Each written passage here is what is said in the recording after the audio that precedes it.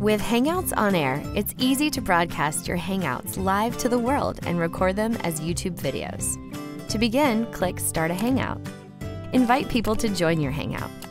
Name your Hangout and click Enable Hangouts on Air. Review and agree to the legal terms to continue. You only need to do this once. The first time you start a Hangout on air, we'll ask you to link your YouTube account so we can record your Hangouts to your YouTube channel. Click Hangout.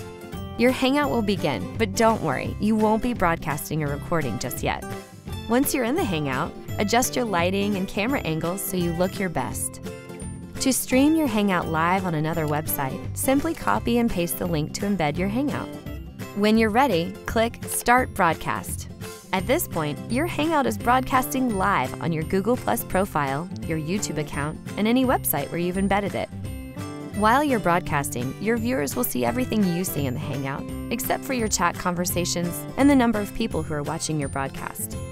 You can mute people in your Hangout if their background is noisy, or click on a person's video to make the main screen stay on that person. When you're done, a recording of your Hangout will post publicly, so anyone who missed your live Hangout can still join in the fun. So go ahead, start your first Hangout on air today and broadcast your conversation to the world.